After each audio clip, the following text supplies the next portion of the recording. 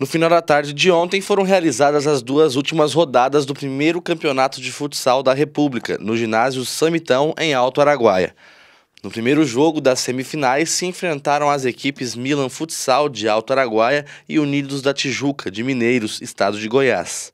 Um jogo bastante disputado, ao final do segundo tempo o placar era de 3 a 3. A decisão foi para os pênaltis e a vitória que deu a classificação para a final foi da equipe Unidos da Tijuca de Mineiros com 3 gols contra 2 da equipe adversária. Em seguida, Milan Juvenil de Alto Araguaia e Lanchonete das Torcidas de Santa Rita do Araguaia, estado de Goiás, disputaram a última vaga para a final do Campeonato da República. A equipe de Santa Rita entrou em quadra com o foco voltado para o jogo da final e, ao final do segundo tempo, ficou em vantagem com um placar elástico de 11 a 2 contra a equipe Milan Juvenil de Alto Araguaia. Classificados para a final, Unidos da Tijuca de Mineiros e lanchonete das torcidas de Santa Rita do Araguaia entram em quadra para decidir quem leva o primeiro lugar para casa. Os dois primeiros gols da partida foram marcados por Bruno, camisa 10, do time de Santa Rita do Araguaia, e fechando o primeiro tempo, aos 19 minutos, Jefferson, do time de Mineiros, marca o único gol para a sua equipe. O segundo tempo foi bastante disputado, mas marcado com mais quatro gols para a lanchonete das torcidas, dois gols de Walter Júnior, um de Jefferson Bispo e outro de Saulo. Vitória de 6 a 1 para a equipe da lanchonete das torcidas. Eu acho que nós deveríamos ter feito uma partida que nós conversou, nós conversou lá de fora da quadra, nós não trouxe aqui para dentro. Mas em, pela semifinal que nós vemos jogando, a equipe está de parabéns. Pelo resultado da semifinal, eu acho que nós buscou o resultado, mas estamos de parabéns. Nas próximas partidas aí, qual, quais mudanças vocês pensam em fazer?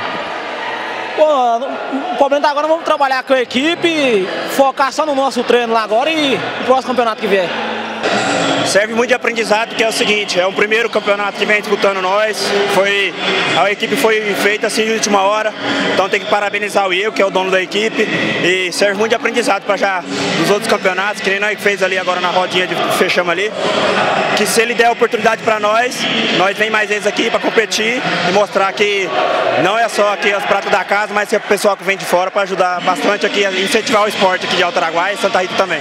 Avaliação bastante positiva desse jogo.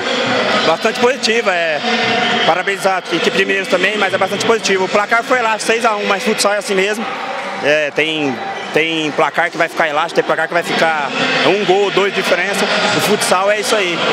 É, todo mundo quer ganhar, né? Aí sempre acontece umas coisinhas assim a mais, mas tá de parabéns a organização pelo torneio, parabéns à equipe de organização de Alto Araguaia.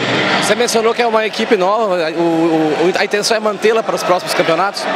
É, possivelmente sim manter, que nem eu, o, mais dois meninos de fora aí, aí conversamos ali que se ele der a oportunidade para nós, vai manter a equipe, é só ele chamar nós que nós vem participar com todo o orgulho que tem. Na entrega da premiação, a organização do evento aproveitou para falar da realização do primeiro campeonato de futsal da República.